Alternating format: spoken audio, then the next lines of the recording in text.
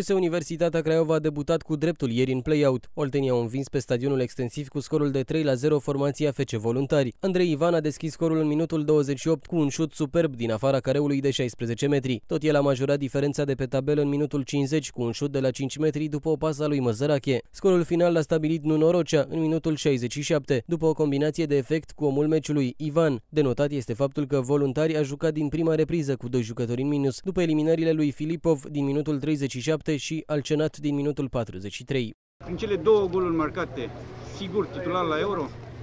Ha, ajungem așa repede la Euro? Nu, nu cred că o să fiu titular. Eu sper să fiu un lot. Mă bucură acest lucru să fiu acolo cu echipa națională în primul rând și să fiu bine până la Euro, să fiu sănătos. Ne bucurăm pe locul întâi. Suntem pe locul 7 dacă luăm uh, clasamentul întreg și nu, ne bucurăm că am luat cele trei puncte de astăzi și sperăm să, sperăm să obținem la fel în continuare. Dacă jucați tot așa, mai pierdeți locul întâi? Nu, noi sperăm să nu mai pierdem. Acum că jucăm în play-out, obiectivul nostru este locul 7. Era și o, o revanșă de luat împotriva lor pentru că ne-au învins aici și probabil datorită lor ni se, eu știu, se datorează și prezența noastră în, în play-out. Cred că a fost o victorie meritată a gazdelor, țin să felicit și totodată vreau să felicit și băieții mei, chiar dacă am pierdut astăzi cu 3 la 0. Craiova ocupă locul al șaptelea, primul în play-out după această victorie. Echipa masculină de volei SCM Craiova a fost aproape să piardă al doilea meci din acest sezon al diviziei A1. Oltenii s-au chinuit sâmbătă pe teren propriu cu tricolorul Ploiești. Elevii lui Dănuț Pascu s-au impus cu scorul de 3 la 2 și au pierdut astfel un punct din cele trei puse în joc. Craiova rămâne totuși pe primul loc. La finalul meciului, antrenorul Dănuț Pascu nu era pe deplin mulțumit. Astăzi am avut, după cum bine ați văzut, a fost un meci disputat, un meci care, eu zic, a plăcut publicului, dar pe mine personal m-a nemulțumit pentru că nu reușim să, să ne găsim cadența, să revenim la jocurile bune care le-am făcut până acum. Dar nu aș vrea să minimalizez până la urmă meritele jucătorilor și a echipei, pentru că în final este o victorie uh, meritată, se putea întâmpla și mai rău.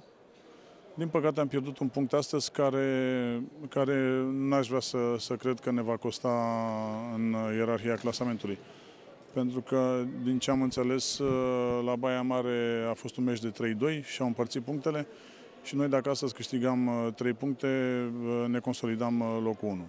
Miercuri este etapa intermediară în prima ligă, iar SGM Craiova va juca în deplasare cu Volei Club Caransebeș.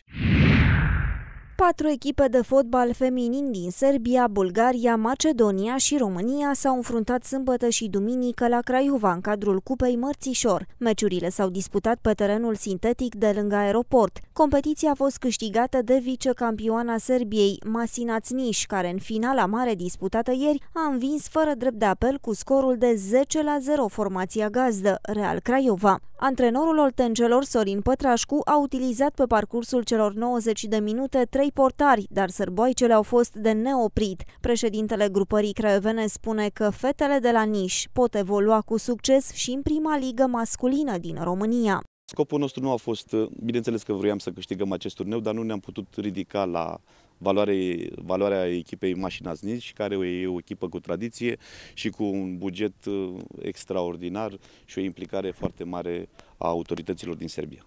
O mașină de fotbal. Chiar mașină de fotbal, eu cred că astăzi puteau să joace și cu voluntari. În ceea ce privește jucătoarele, unele au recunoscut superioritatea adversarei, altele nu. V-au căsăpit sârboicele.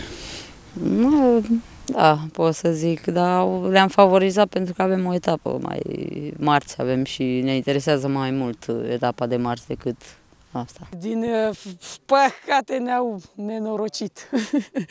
Au o mașinărie de fotbal. e cam dureros pentru noi.